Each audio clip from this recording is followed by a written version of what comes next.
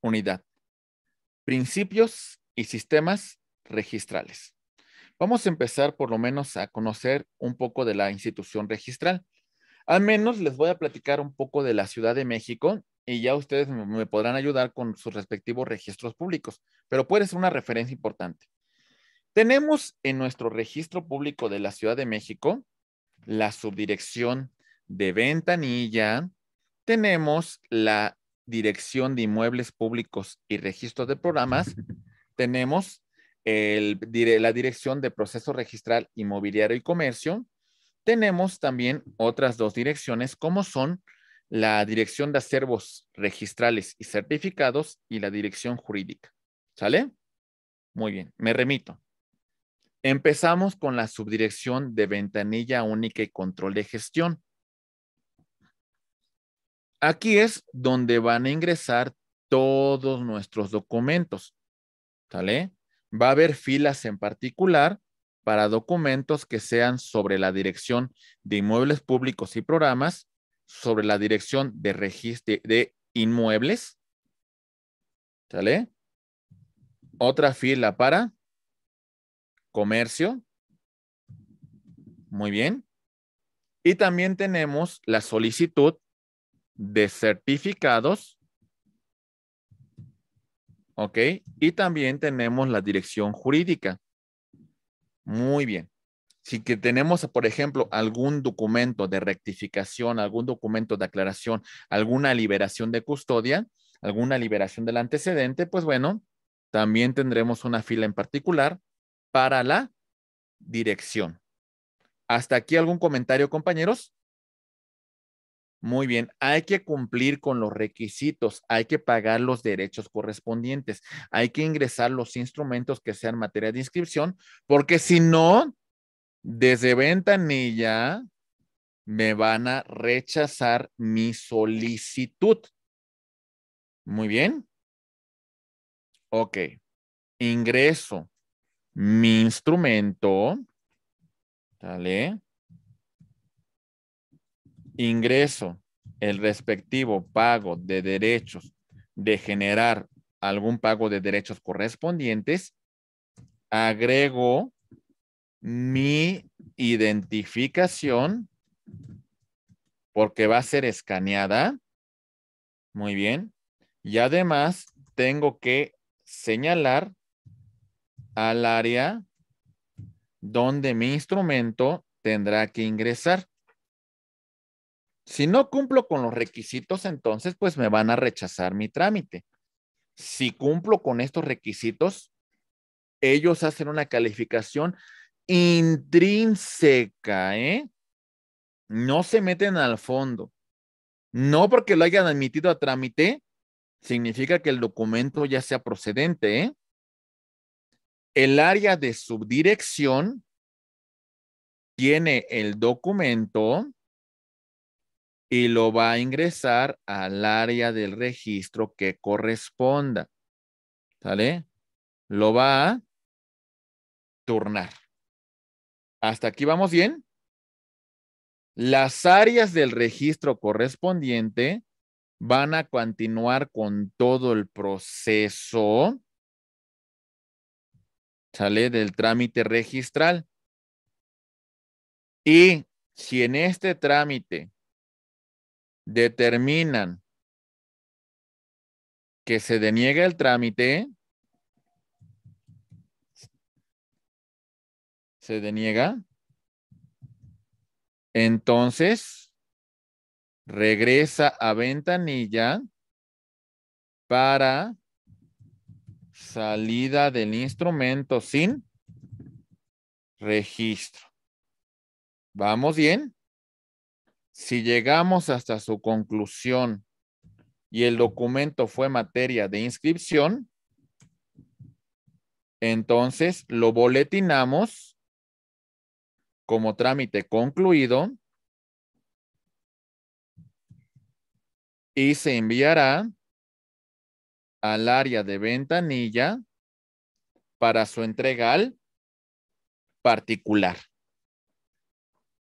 ¿Quedó claro, compañeros? ¿Vamos bien? ¿Sí o no?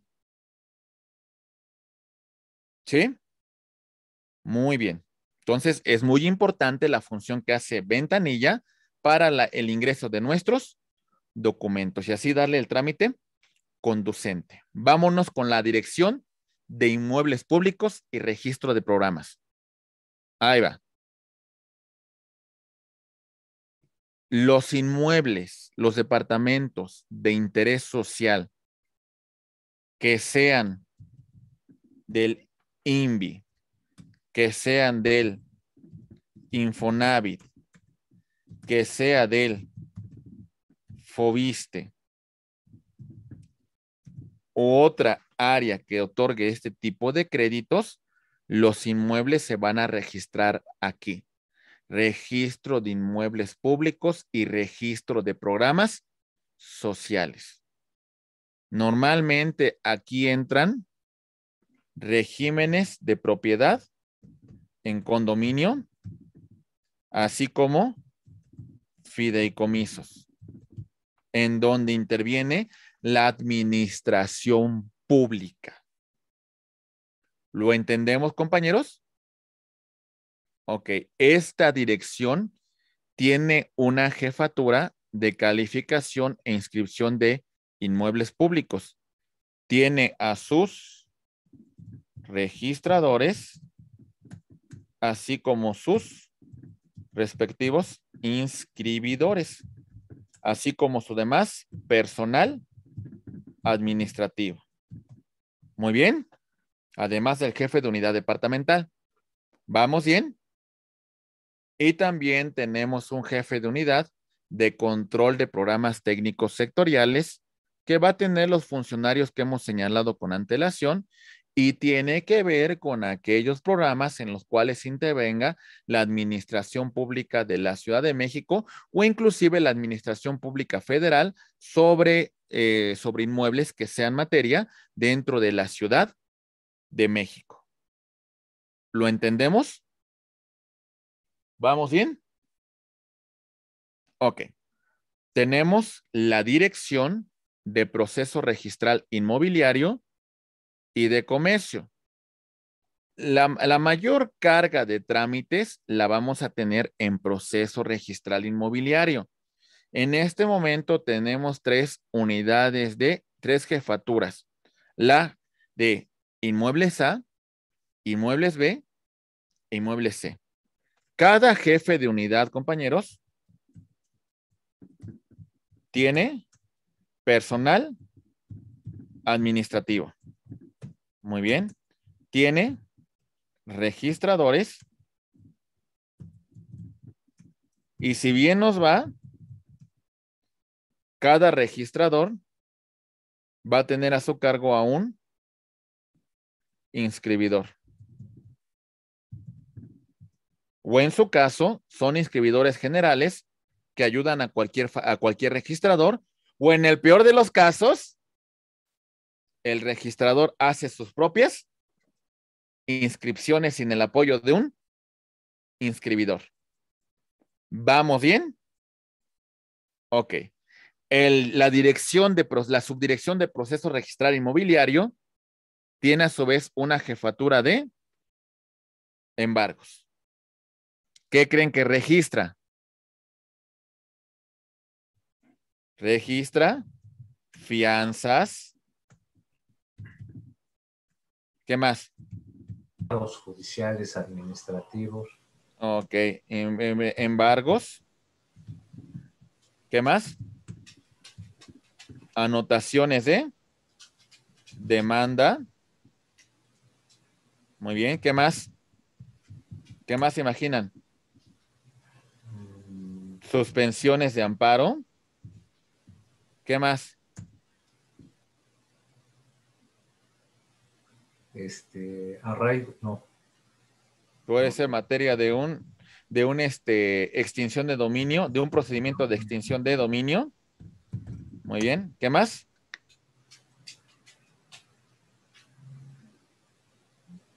anotación de un juicio, del inicio de un juicio, de una sucesión.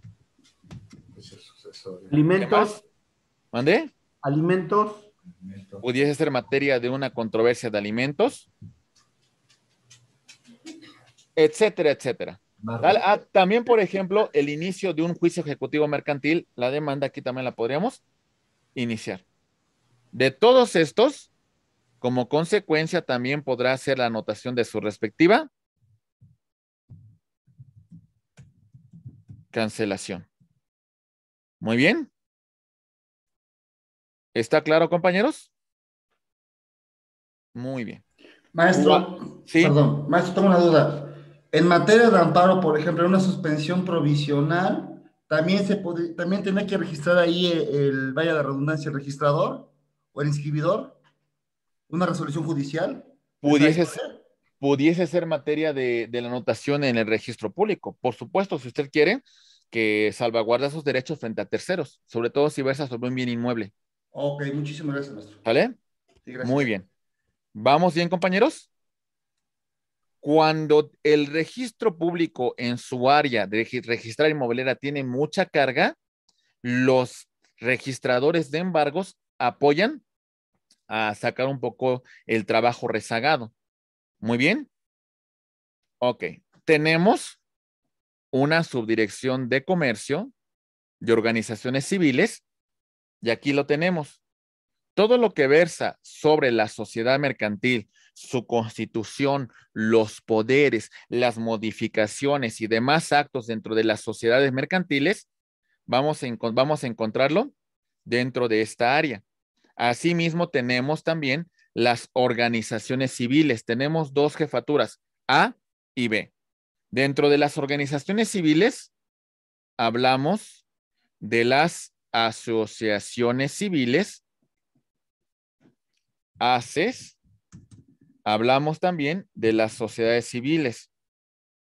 Aquí podríamos hablar inclusive también de las fundaciones.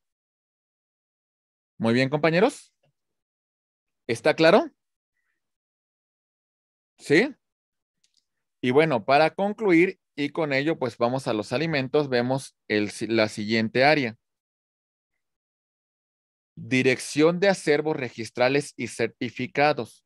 Tenemos una subdirección de certificados a la cual le vamos a solicitar nosotros, estimados amigos, dentro de los trámites que revisamos con antelación, algunos actos como son el certificado de inscripción. Recuerden que ya lo revisamos de inscripción de asientos registrales en folios en libros. Muy bien. Hasta aquí vamos bien, compañeros. También le vamos a pedir un certificado a esta, a esta dirección que nos, que nos informe si una persona física o moral tiene un inmueble a su nombre. ¿Vamos bien? Y también le vamos a pedir el certificado que comúnmente señal, hablamos como de libertad de gravámenes, pero su nombre es de existencia o inexistencia de gravámenes. Muy bien. Si tenemos dudas con un antecedente, para eso se encarga la jefatura de unidad departamental de investigación registral, para que verifique si tenemos un antecedente sobre un determinado inmueble. Esto para que sepan ustedes a dónde conducirse. ¿eh? Muy bien. Y tenemos una dirección jurídica que representa al registro público frente a otras autoridades y frente a terceros que promueven una acción en contra del registro público. Tenemos una subdirección de, dictaminación registral. Vamos a ver que existe un procedimiento en materia de registro en la cual si tenemos dudas con la calificación del registrador, podemos promover un recurso. Recurso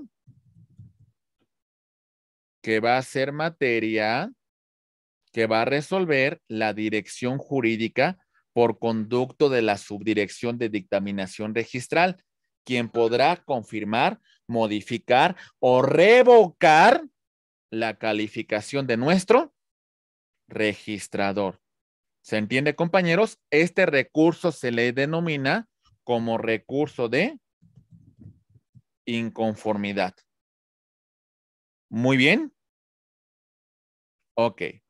Y tenemos una subdirección de contencioso administrativo en el caso de conflictos con particulares o en el caso de que hubiese sido registro público autoridad para efectos del juicio de amparo.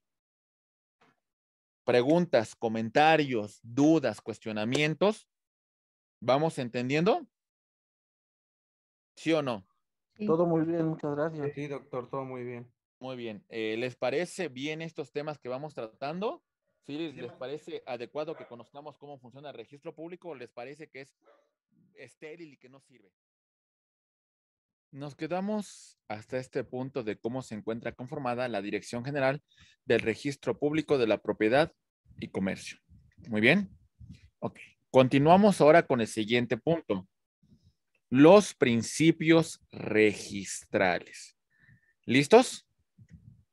Primer principio. Atentos, por favor. Publicidad. Decimos lo siguiente.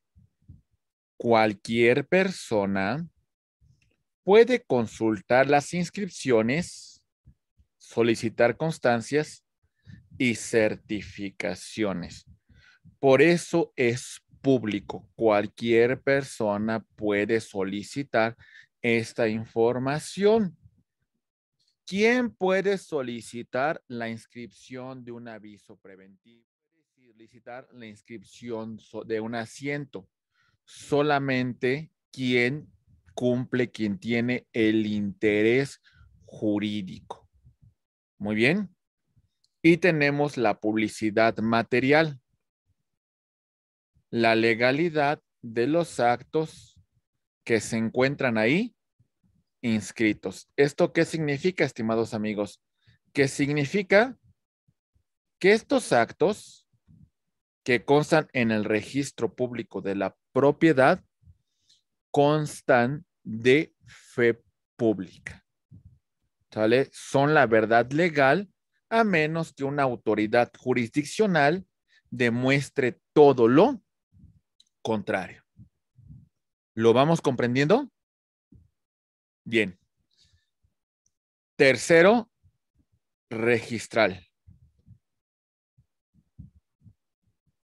Los derechos se adquieren de buena fe por terceros derivados de un asiento registral.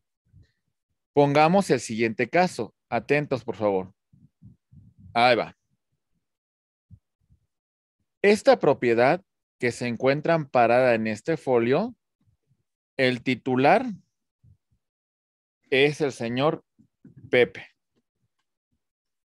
En el año 2010, Pepe lo vendió a Juan. Después, Pepe, como es medio tranza, para el 2018 lo vuelve a vender con María. Y para el 2022 lo vende a Carlos y Carlos realiza la inscripción de su propiedad en el registro público de la propiedad. Es un tercero de buena fe. Salvo que se demuestre lo contrario, él va a demostrar esta titularidad que tiene sobre este predio es un tercero de buena fe. ¿Comprendemos el ejemplo, compañeros? ¿Sí o no? Los escucho porque tienen dudas. No, todo bien. ¿Todo bien? Muy bien. Ok. Siguiente punto, por favor. Rogación. A solicitud del titular registral se puede hacer la inscripción de un asiento, la anotación de cualquier eh, situación de un derecho real que verse sobre el bien inmueble. Solamente su titular registral. En el caso de que éste muera, podrá hacer la solicitud, su, su respectiva sucesión, acreditando esta situación de derecho. ¿Lo entendemos, compañeros? Solamente quien demuestre un interés jurídico sobre el inmueble materia de la operación. Como mencionamos, en caso de muerte, pues será su legítima sucesión. ¿Comentarios? ¿Dudas? ¿Es la única eh, eh, situación de la sucesión o quién más en razón de esta arrogación? Pues podría ser inclusive la, la propia autoridad. La propia autoridad, ahora sí que por mandato de ley podrán requerir al registro público haga una anotación sobre el, sobre el, sobre el folio real. E inclusive, aunque no exista tracto, ¿eh? Hay veces que no hay tracto, pero la autoridad dice, hágase la inscripción porque la ordeno y se acabó. Y entonces el registrador tiene que hacer la anotación, así no, si no existiese tracto.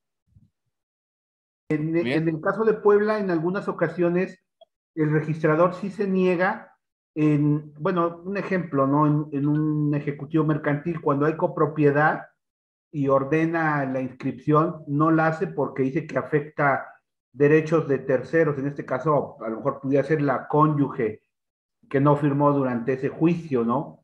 Eh, en ese caso, ¿está actuando también bien el registro o por lo menos tendría que estar inscrito la parte del 50% en relación, hablando de una sociedad conyugal, ¿verdad? Hablando de una sociedad conyugal, un 50%. ¿Qué sería ahí, doctor? Yo creo que es correcto que el registrador suspenda el trámite y que en todo caso solo hagan la aclaración en relación que qué pasa con el con el la, parte que le corresponde a, la cónyuge no creo cónyuge concubino cónyuge o, con, el, al cónyuge perdón perdón Sí, o yo creo que sí es importante suspenderlo porque debe de aclararse. Me, parece que el registrador no está rebasando las funciones, está pidiendo que se haga la aclaración correspondiente, ¿no? ¿Qué pasa con el restante, eh, con el 50% restante derivado de que existe una sociedad conyugal y como tal, pues se va a afectar parte del inmueble. Creo que en este caso el órgano jurisdiccional o la autoridad administrativa tendrían que indicar que la materia del embargo que la materia de la afectación es la parte correspondiente al 50%, ¿verdad? Sí, o copropiedad, ¿no? No necesariamente como... O la copropiedad, exactamente. Gracias, doctor. Muy bien. Bien, estimados amigos, vamos a continuar, maestros, con el siguiente comentario.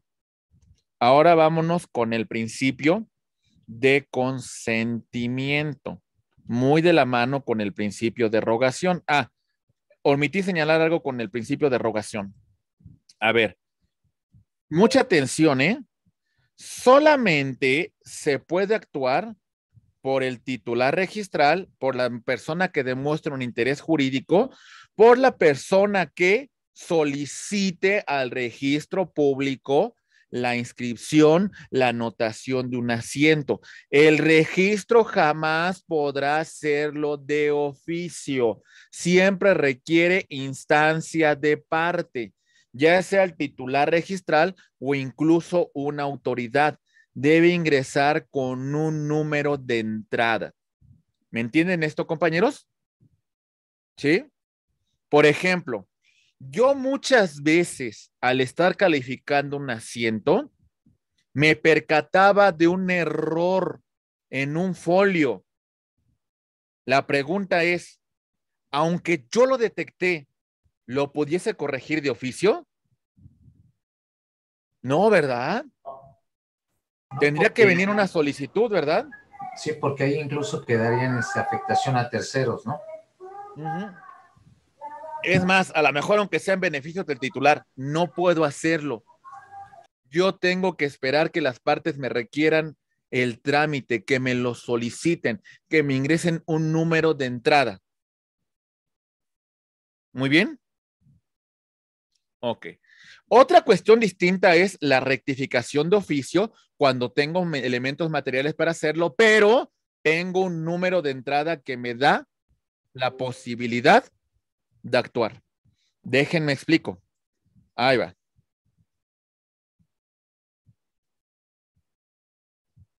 En este predio se encuentra al a nombre registral en el registro público de Juan Pérez Martínez.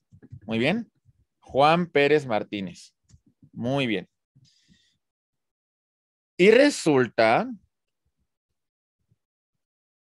que cuando el notario ingresa el instrumento, viene que se encuentra que va a transmitir Juan Manuel Pérez Martínez. Muy bien. Aquí hay un problema. ¿Ya, ya, lo, ya lo vieron? Sí, que no es la misma persona para efectos. Ok, exactamente. A veces puedo hacer lo siguiente, pongan mucha atención. Yo como registrador puedo detener el documento por causas internas y de oficio poder pedir al Archivo General de Notarías me, envíe instrumento del el antecedente registral, donde consta que Juan Pérez Martínez se convirtió en propietario.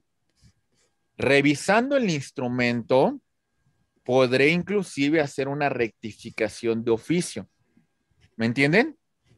Con vista al instrumento notarial número tal, emitido por el notario público número tal de la Ciudad de México, se hace la aclaración que en el asiento registral inscrito con número de entrada tal, de fecha tal, por el ser registrador el día tal, se hace la aclaración de que el nombre completo del titular registral no es Juan Pérez Martínez.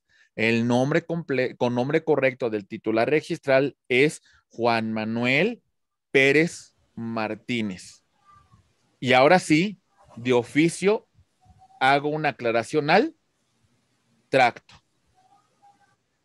Ok, entonces tendríamos eh, eh, que concluir que el actuar del registrador de oficio debe prevalecer un criterio de antecedente para poder emitir este oficio esa corrección. Deberíamos hacer una calificación extrínseca con todos los elementos que constan no solamente en el folio, sino también en los antecedentes, ¿me entiende? Y yo como registrador puedo requerirle al Archivo General de Notarías u otras autoridades me envíen documentos que sean necesarios para la calificación de fondo. ¿Qué problema yo le podría traer al, interesado de pedirle que, o, de negarle el trámite porque le diga que no es la misma persona? pues le tendría que poner la carga de que solicite instrumento al archivo de notarías, no se lo van a expedir porque no tienen interés jurídico, le voy a poner yo trabas cuando yo mismo como función, como servidor público, pudiese hacer toda esta investigación y hacer la aclaración conducente, ¿me entiende? Y si de la calificación que haga también del instrumento que me envían, me doy cuenta que efectivamente hay un error desde origen, pues bueno, entonces le hago la, le hago la manifestación, ¿verdad? Muy bien. ¿Sí, maestros? Muy bien. Siguiente punto. Ahora sí, vámonos a consentimiento.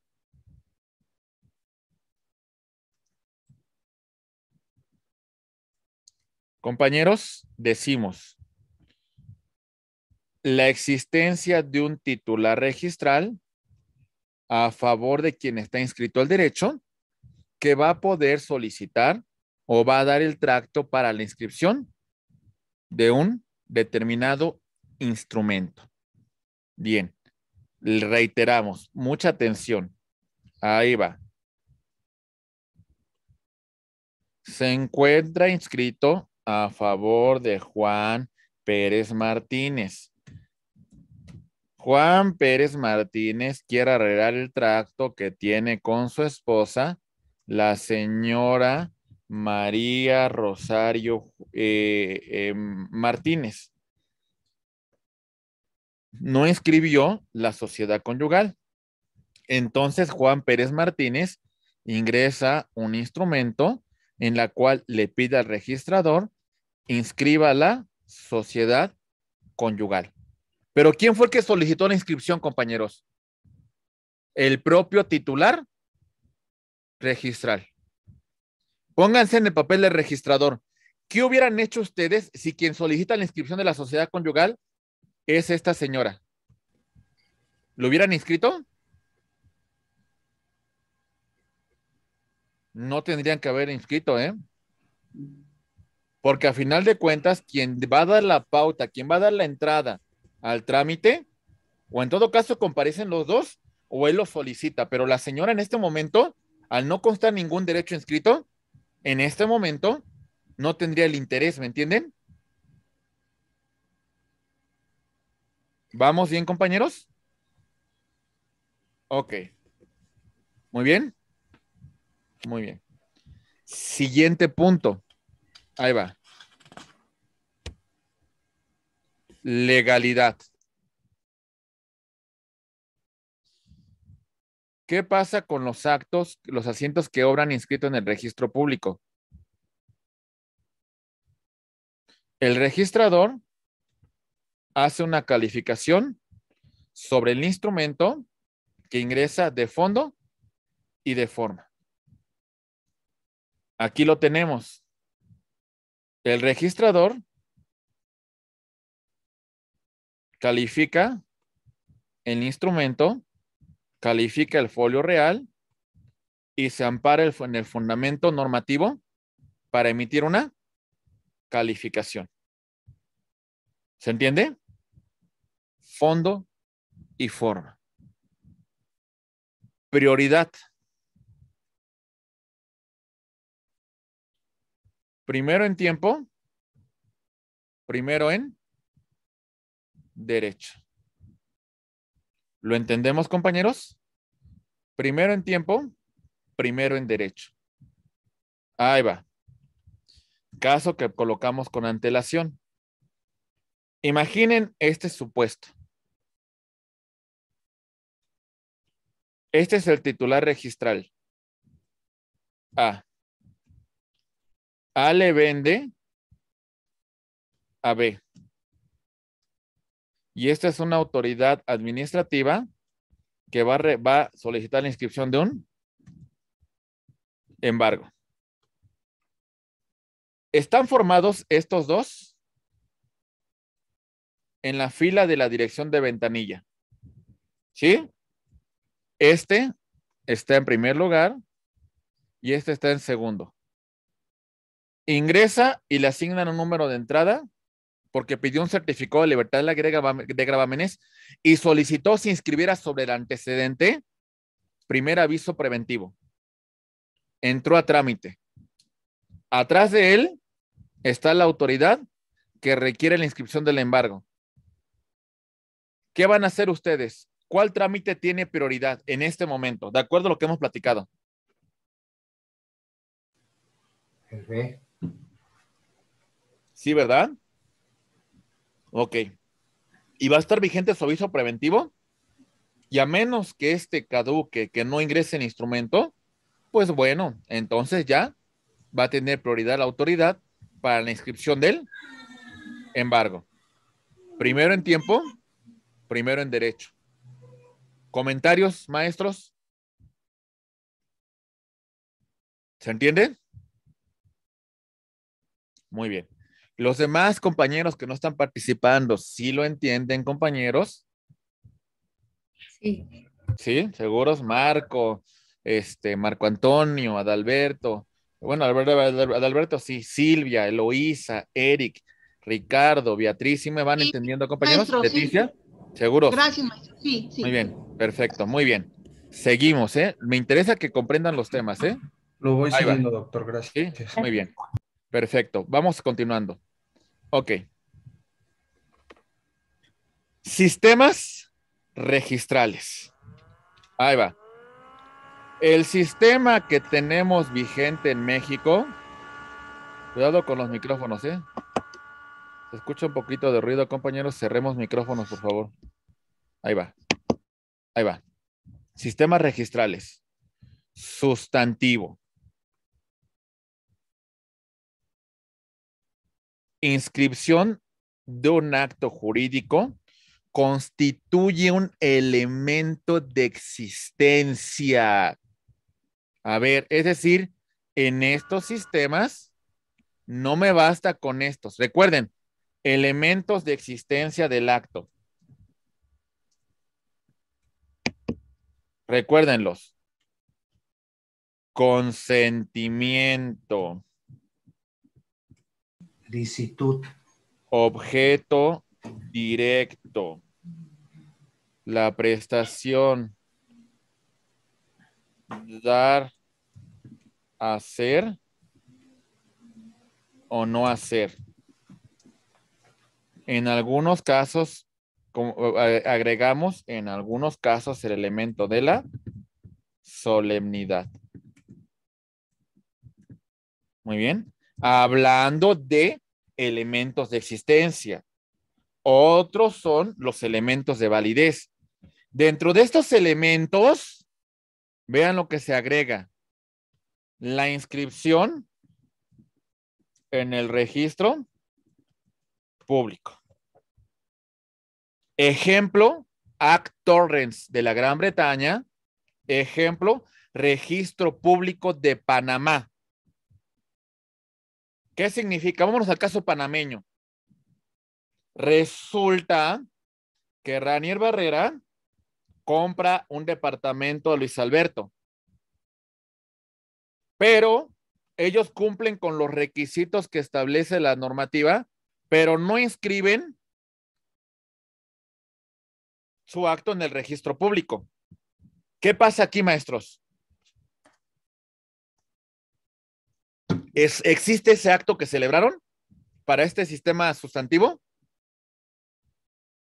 No existe, no produce ninguna consecuencia de derecho como si nunca se hubiera celebrado. No, no, maestro, porque queda una cuestión como un contrato privado que nunca se le dio la formalidad jurídica, la solemnidad registral. Para este sistema, como bien nos dice Luis, no existe porque no se le ha cumplido con esta solemnidad de inscribirlo en el registro público. Claro. ¿Vale? ¿Vamos bien? Sí, maestro. Ok, siguiente. Constitutivos. El registro es constitutivo de derechos. Si yo quiero ser reconocido como propietario, entonces como consecuencia debo inscribir mi derecho en el registro público. Muy bien. Ok, antes no soy propietario. Si no lo inscribo, no lo soy. Tengo que inscribirlo. La naturaleza de nuestro registro público. Y bueno, perdón, y ya con. ¿Perdón? Este, y ya con el registro tienes personalidad jurídica para, obviamente, para siguientes actos.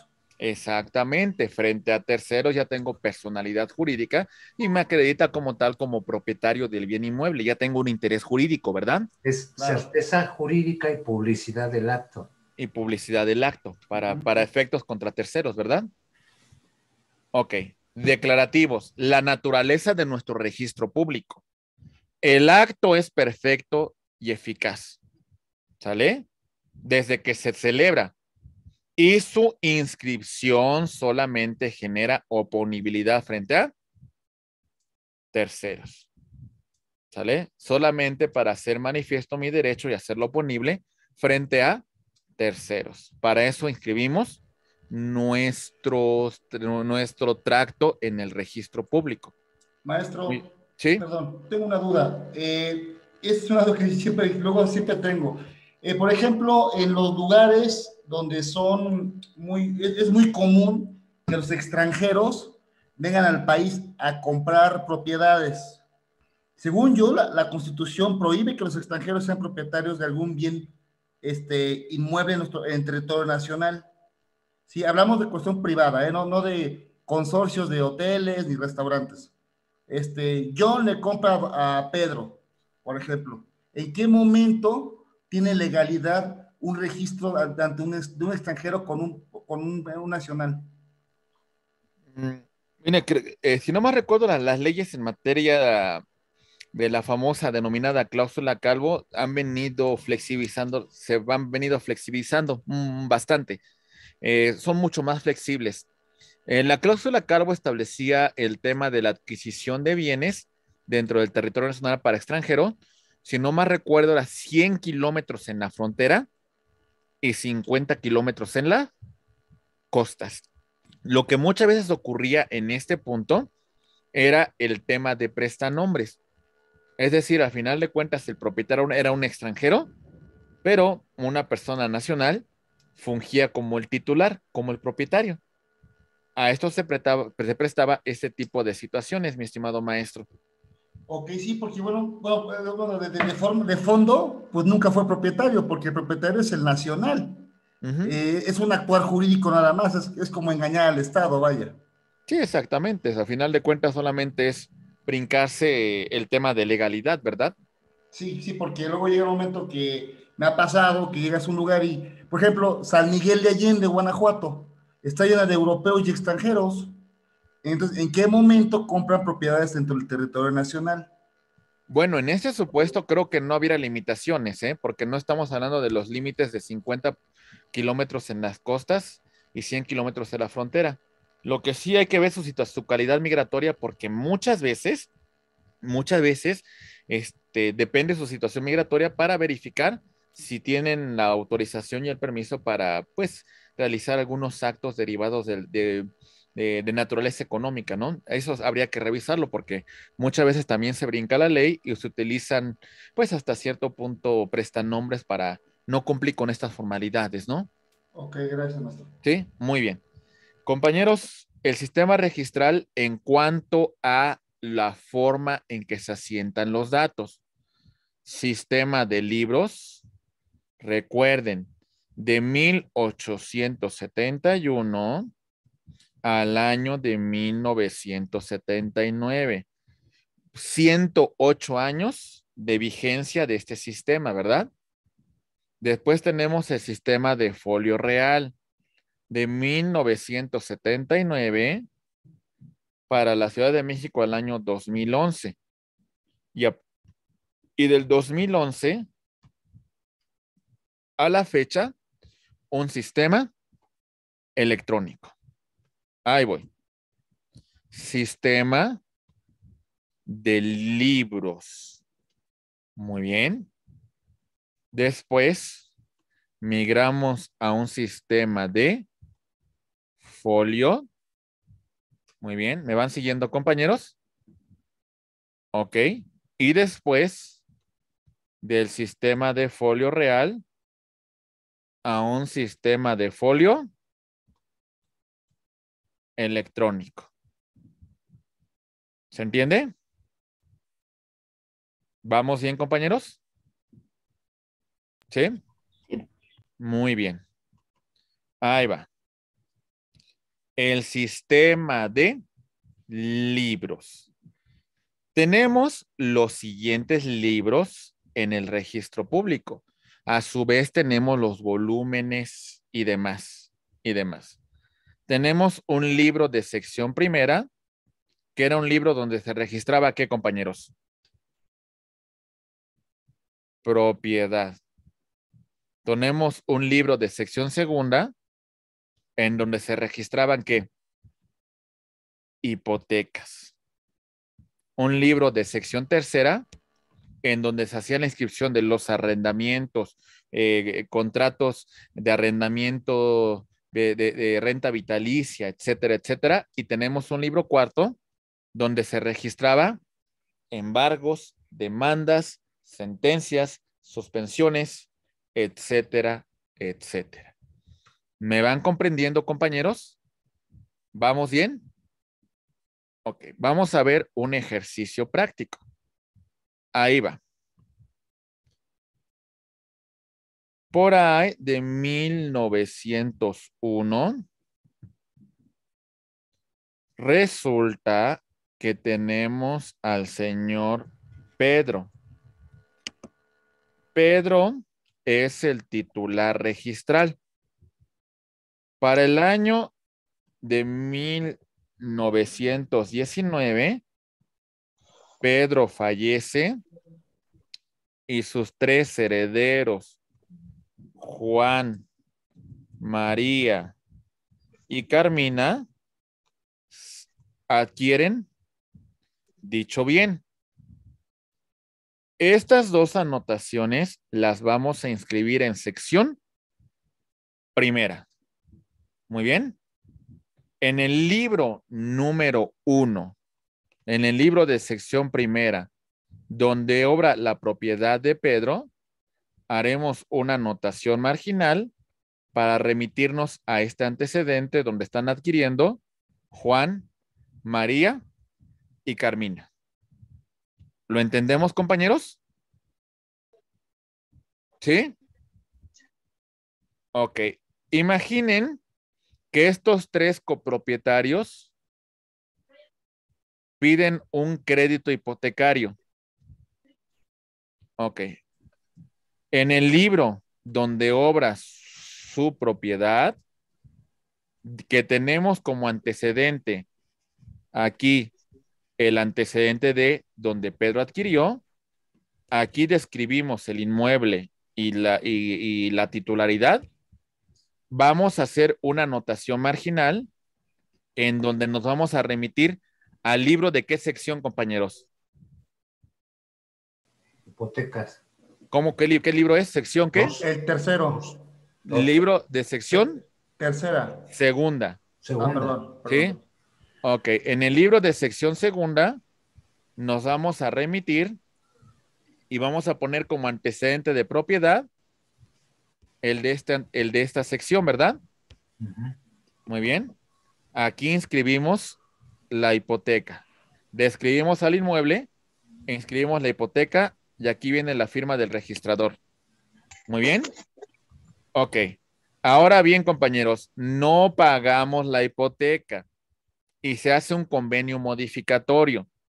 Vamos a dejar constancia a una nota marginal de que vamos a remitirnos a otro libro de sección segunda para inscribir el convenio modificatorio. ¿Vamos bien?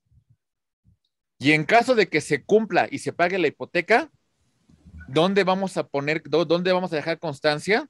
de la cancelación de la hipoteca. ¿En, qué libros? en el mismo dos. Pero en, nada más en uno de ellos o en los dos antecedentes. No, en el registro de propiedad y en, el uno y dos. No, nada más tendríamos que dejarlo en el de gravámenes porque se está cancelando. Ok. Ok, entonces cancelamos tanto la hipoteca así como el convenio modificatorio. ¿Lo entendemos, compañeros? Ok. Muy bien. Bien. Entonces, no es un, bueno, no es un derecho del todo que ya no siga vigente, ¿eh? A lo que me refiero. Ustedes como expertos, como maestros en derecho civil, si tienen una controversia derivado del registro público, deben de conocer cómo funciona el sistema, porque es más o menos lo que el registrador hace dentro de la oficina registral. Y el registrador, si tiene una maestría en derecho civil, qué mejor, porque entonces va a tener un conocimiento más, más amplio sobre los temas que puede tratar cuando tenga un asunto en particular que resolver, ¿verdad? ¿Lo comprendemos, compañeros? Sí, doctor, gracias por ofrecernos chamba desde ahorita. no, al contrario, ¿no? Al contrario. Muy bien. Ahí va. Primer antecedente registral. Inscrito con fecha primero de marzo de 1871, libro 1, volumen 1, foja 1, partida 1. ¿Sale? Ahí está el primer antecedente, el primer eh, asiento inscrito en el registro público. Y bueno, este asiento es el que les dije de el inmueble que se encuentra en Santo Domingo, donde obran las imprentas. ahí tenemos nuestro primer asiento inscrito en el registro público. Muy bien. Comentarios, ¿lo vamos comprendiendo? Que al final, este, por ser un inmueble, debe seguir existiendo, ¿no? Obviamente. Sí, sigue existiendo. En la actualidad, la verdad que ya no sé cómo, cuál es el tracto que siga, pero imagino que debe tener ya un folio real. Imagino que no sé si sea propietario algún particular o no lo sé, pero este, en su momento teníamos un, un titular registral sobre este bien. Es más, aquí tengo el libro, dejen, déjenle, les leo exactamente lo que dice el extracto, ¿eh? Aquí lo tengo, ¿eh? Gracias.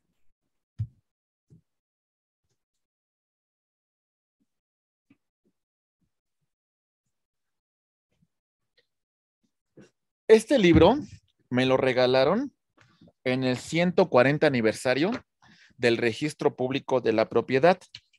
Este,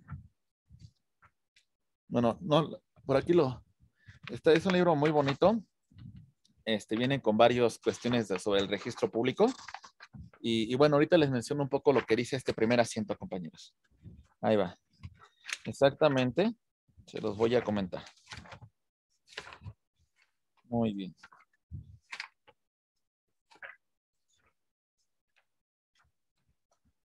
Es un libro muy bonito porque hasta cierto punto cuenta cómo se fue lotificando, cómo se fue fraccionando la Ciudad de México. Entonces, pues es un, es un libro que la verdad vale mucho la pena. Bueno, aunque, aunque la verdad no creo que esté a la venta, nunca lo he encontrado a la venta, ¿eh? simplemente es un, es un libro pues que, que, que lo tuvieron las, las, personas que la, colaboraron en el registro público y solo se imprimieron como, si no me recuerdo, como unos, unos 100 ejemplares. Pero déjenle, les comento, ahí les va. Les voy a leer lo que dice el asiento, ¿eh? C. Maximino Yazca, de 60 años de edad, profesión abogado, con domicilio en la calle 1 de la calle San Agustín de esta Ciudad de México. Don Juan Gavito, súbdito español, matriculado en calidad de tal, 40 años de edad y en estado soltero, representando la compañía conocida bajo la, la razón de Juan Gavito Hermanos Comerciantes y con domicilio en las calles de Maderas y Segundo de Santo Domingo, por, escrit, por, escrit, eh, por escritura afirman esta sección primera de un cargo hoy día 4 de marzo del año de 1871, 4 de marzo de 1871, ¿eh? Para que tomen nota de eso. A las 11.30 de la mañana da testimonio de la escritura otorgada ante el notario C. Ignacio Cosio de esta ciudad en los días corrientes del mes de año bajo el número 80, en cuyo documento consta autorizada la firma del señor Yasca como el representante C. Manuel Anaya y su poder amplísimo que le confiere en la capital del día 4 de enero ante el notario C. Ignacio Burguá, con cláusula especial para vender inmuebles, raíces y semovientes, vendió efecto una finca urbana marcada con el callejón de las cruces de esta ciudad, Manzana número 89, 87, que forman las calles Callejón de Oriente y Calle Moras al norte de la estampa Valvanera, al poniente de la de San Ramón, al sur. Esta venta se ha verificado en favor de los señores Gavito Hermanos por el precio de la cantidad de 10 mil pesos más gastos para el vendedor, de los cuales el comprador entregará 6 mil pesos a María Luisa Muñoz, a quien le debe la escritura del 22 de, enero del año de 1870, otorgando ante el notario Francisco y los mil pesos restantes los recibe C. Juan Domínguez. En esta forma, 800 pesos por la vía indemnización, pues con virtud de esta venta ha quedado recibiendo el contrato de arrendamiento que se celebró en septiembre del año próximo pasado, debiéndose la misma cancelarse en la escritura respectiva, otorgada ante el ciudadano Mariano Vega, no expidió testimonio referente del citado mes y bla, bla, bla, bla, bla, bla. Más que nada, este es el primer antecedente y si se fijan, en ese momento el titular era esta persona denominada, mmm, es como, como les dije, Gavito, ¿verdad? Les dije que la adquirió. Mm, sí, ¿verdad? Les dije el señor Gavito, ¿verdad? Gavito se la, se la vende a, a, un español empresario de hermanos, no me acuerdo del apellido. Sí, miren, se ha verificado la venta a favor de los señores Gavito Hermanos, los hermanos Gavito. Ah, ¿Sale? Ellos son los que la adquieren. Este es el primer antecedente, compañeros, de mire, el año de 1871, el 4 de marzo. Es un libro muy bonito que si no lo, si no lo pudiesen conseguir, voy a tratar de, de digitalizarlo, aunque sí está un poquito pues pesadito porque son varias las hojas, Y este, pero sí se valdría la pena. Está muy bonito, compañeros. Muy bien. ¿Vamos bien hasta aquí? Sí, muchas gracias. Sí, Muy bien. Aquí está el libro. Bien. Este es más o menos un libro. Si ustedes los conocen, son libros muy pesados. Más de 30 kilos pesa un libro. Libros muy grandes con forro de cuero. Este, en la cual teníamos ahí nosotros nuestros asientos. Eh, normalmente empezaba el libro con el antecedente. ¿Sale? ¿De dónde provenía? Empezaba con la descripción de las partes que comparecen y hacía una descripción del inmueble, colocaba los generales de los comparecientes y al final venía la firma del registrador. Marginalmente se colocaban los sellos de propiedad, de embargo, avisos preventivos, este, eh, inscripciones de demandas, etcétera, etcétera. Así marginalmente lo vamos colocando. ¿Lo vamos viendo, compañeros? ¿Sí? Muy bien, para que vayamos conociendo la estructura del libro. Como les mencioné, para el año de 1979, migramos de un sistema de libros a un sistema de folios. La verdad es que siempre hemos sido muy renuentes al cambio. Cuando se migró, comentaban muchos compañeros que vivieron esa época que tildaban de que era una porquería el sistema, que no funcionaba, que los libros eran lo mejor, que llevaban más de 100 años demostrando que los libros eran un sistema funcional. Se migró a este sistema, el cual constaba de un folio cartural que tenía tres, tres, este, secciones. La sección de propiedad, la de gravámenes y las anotaciones preventivas. Más o menos así era como tenían ustedes este, esta carátula.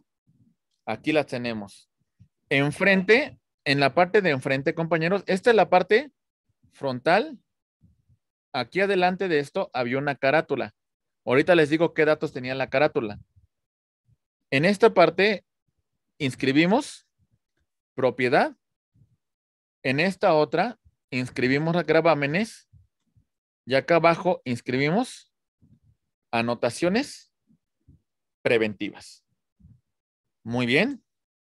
Lo que ya no alcanzara en, esta, en, este, en este cartoncillo, nos remitíamos a hojas de seguridad que complementaban cada una de estas partes que integran nuestro folio. ¿Lo vamos comprendiendo, compañeros? ¿Sí? Si tienen dudas, díganmelo, por favor, ¿eh? Prefiero mejor que me, me comenten y no avancemos sobre, sobre elementos que no vamos trabajando. ¿Se va comprendiendo? Sí, o sea, sí, maestro. Eh, por ejemplo, se, entiende que los folios, o sea, si ya no tiene capacidad eh, el, papel, se va anexando, como se dice, hojas de seguridad dentro, bueno, dentro del mismo folio. O sea, cosa como que es como un expediente de expedientillo, o sea, se va ahí formando en el mismo papel. Se va anexando. Imagine que, imagine que este es. Voy a, voy a plantearlo así, ¿eh? Sí. Aquí está. A ver otra vez. Ahí voy, ¿eh? Permítame. Para que les quede muy claro. Aquí lo estamos dividiendo, ¿eh? Propiedad, gravamen, anotaciones preventivas.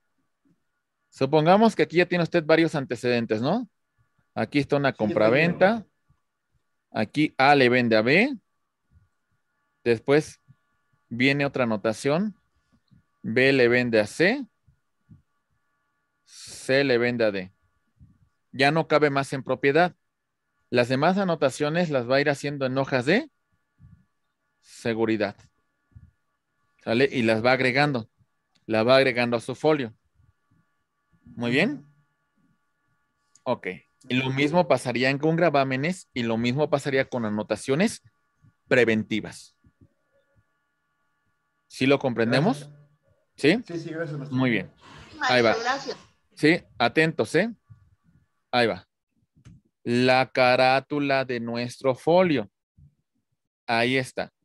Lo que nos comentaba, que si no más recuerdo, usted, mi estimado maestro Adalberto, el tema del número catastral, aunque lo incluye nuestra carátula, realmente la mayor parte de folios reales no contienen número catastral y sería maravilloso que tuviéramos ese antecedente porque inclusive facilitaría las búsquedas.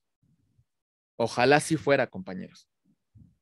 Tenemos nuestro folio real y si nos remitimos de algún antecedente registral de, folio o de libro, ahí lo vamos a encontrar. La fecha en que se autorizó la creación de este folio y la firma del director del director del registro público que la autoriza. Muy bien. Datos de identificación, denominación del inmueble, ubicación, colonia, alcaldía, código postal, superficie en metros cuadrados y los linderos, ¿sí? Colindancias. Muy bien, compañeros. Maestro, tengo una duda. Sí. Por ejemplo, aquí en el estado de Tlaxcala, como, como comentaban los compañeros del Estado de México, por ahí escuché al inicio de la clase o a mediados de, por ejemplo, aquí en Tlaxcala hay una cuestión de que si bien está la autonomía municipal, constitucional y el avalúo catastral, pagos catastrales, lo que aquí se hace se lleva al registro público de la propiedad y el comercio, que sí se llama aquí, y se anexa a, tu expediente. Sería muy bueno, como usted lo dice, eh, evolucionando el derecho, a lo mejor administrativo o registral, como, como ahora se acostumbra con las actas de, de nacimiento, que tiene tu CURP, tiene una cuestión electrónica, usted dijo, este, un sello electrónico, o sea, va cambiando las formalidades y vamos a poder cambiar el tipo de papel, la cuestión administrativa, que en un solo documento te, saque todo el historial, por ejemplo, para no tener tanto papel, pero con ese papel tener mucho fundamento jurídico. Sobre todo darle celeridad a los trámites, ¿no? Por ejemplo. Así, porque luego es, es, es parchar y parchar. Exactamente, o sea, si puedo estar en, trabajo, en coordinación con, los municipios y con las respectivas oficinas que expiden estos números catastrales, pues hasta cierto punto, ¿por qué no facilitar el trámite, no? Así cualquier búsqueda, así cualquier situación del inmueble, lo ubicamos mucho más rápido, ¿no? Pero ¿sabe qué pasa? Yo se lo digo por experiencia, que, bueno, es que no es como queja, es un comentario, que los tesoreros de cada, cada administración pública hacen y deshacen con los números de catastro y cuando te das cuenta, llevas a un juicio o a una cuestión personal, ya no, ya no es Javier el dueño, ya es doña Laura, y ahí viene otro problema. Y será muy buena esa idea, este maestro. Me gustó mucho, muchas gracias. A sus órdenes, muy bien, pues sí, excelente aportación y, y creo que vale mucho la pena, ¿verdad? Bueno, este es el tema de la carátula. Ahora vámonos al interior. Las hojas de seguridad más o menos tienen exactamente lo mismo, exactamente lo mismo. Tenemos un número de entrada, fecha, el tipo de operación. Estamos en inscripciones de propiedad. Empezamos con el número de escritura, la fecha, el notario ante la cual se expide. ¿Sale? Agregamos las partes que están compareciendo el acto jurídico que se, que se está celebrando. Hacemos una descripción muy clara del mismo. Agregamos después de todo esto los generales y abajo de las generales vamos a colocar los derechos que se pagaron en el registro público. Ahora colocamos la firma del registrador. ¿Sí? al cierre de la inscripción. Estos son los datos que van a tener las inscripciones dentro de el registro público. Esta es inscripción de propiedad. El mismo caso vamos a verificarlo en el tema de gravámenes, hipotecas, derechos reales y limitaciones de dominio. Lo mismo que señalamos con antelación. Aquí agregamos estos datos. Aquí agregamos el número de escritura, notario, la fecha. Señalamos las partes que están compareciendo, el acto jurídico que se está celebrando, los generales de los comparecientes y bueno, los derechos de inscripción y la firma del registrador. ¿Vamos bien, compañeros? Ok, vamos a poner un caso real. Tenemos que A como titular registral va a transmitir el inmueble a B. ¿Vale? Acuden ante un notario público y además B le, tiene una hipoteca que le confirió Banamex. ¿Ok? Se cumplen con los requisitos. Bueno, no sirve mi letra X. Vamos a ponerle Banamex. Así. ¿Ok? Muy bien. Ahí va. En este supuesto, vamos a hacer una inscripción en propiedad en la cual va a constar que A le transmite a B. Primer inscripción. Ya teniendo el tracto en gravámenes, vamos a verificar que el Banco de México le otorgó una garantía hipotecaria de 2 millones de pesos a B. Y se inscribe la hipoteca. No podría escribir primero la hipoteca, ¿verdad? Estamos de acuerdo. Porque no tendría yo tracto. Para darle tracto a la hipoteca, primero tendría que inscribirla compra-venta. ¿Se entiende por qué, compañeros? ¿Sí o no? ¿Sí? Muy bien. Y tenemos la parte del folio real donde inscribimos las anotaciones preventivas. Número de entrada, fecha, operación y la descripción de la, del acto que vamos a inscribir. La firma del registrador. Muy bien. ¿Comentarios hasta aquí, compañeros? ¿Lo vamos comprendiendo? Bien. Sí, maestro, gracias. El tema de las partes va a seguir existiendo, pero ahora a partir del 2011 tenemos un folio real electrónico. Seguimos teniendo inscripciones de propiedad, seguimos teniendo inscripciones de gravámenes y tenemos anotaciones preventivas. Más o menos un ejemplo, pero ahora ya no va a haber cartón, ya no va a haber hojas de seguridad.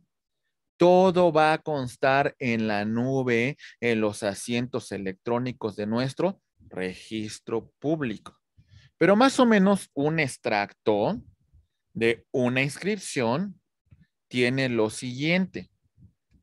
El número de folio real, el número de asiento, el número de entrada con la cual ingresó al registro público, la fecha de ingreso e inclusive el minuto, la hora, el minuto y el segundo en la cual se realizó la inscripción.